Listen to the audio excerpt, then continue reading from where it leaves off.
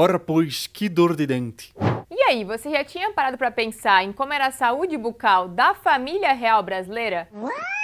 Eu aposto que não, mas neste vídeo aqui eu vou te contar todos os detalhes. Fica que vão ter os dentes do Dom Pedro e lendas urbanas desmentidas.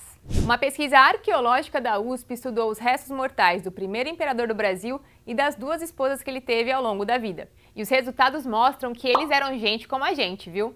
Por exemplo, os pesquisadores descobriram que o Dom Pedro I tinha mordida cruzada, desvio de septo e problemas nas articulações que ligam ao maxilar.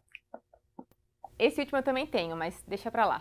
O G1 teve acesso a vídeos que simulam como eram os dentes do imperador. Olha só, ele tinha praticamente todos, menos dois. Hoje em dia, ele teria que ter colocado implantes e aparelho para ter um encaixe melhor com a boca fechada.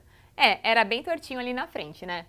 Fora isso, um dentista que analisou essa arcada concluiu que ele tinha feito tratamento contra a cárie, já que ele tinha restaurações em material metálico, provavelmente ouro, o que não é surpresa para ninguém, né?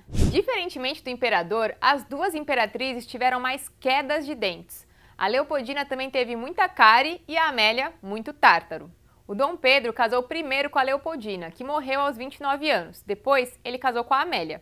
Uma lenda urbana dizia que o imperador teria supostamente empurrado a primeira esposa escada abaixo. Ela teria quebrado o fêmur e morrido por infecção. Mas a pesquisa também serviu para desmentir isso já que os restos mortais da Leopoldina não tinham nenhuma lesão nos ossos. Na verdade, a imperatriz morreu dias depois de um aborto espontâneo. Outra lenda urbana que foi desmentida foi a do suposto nariz quebrado do Dom Pedro.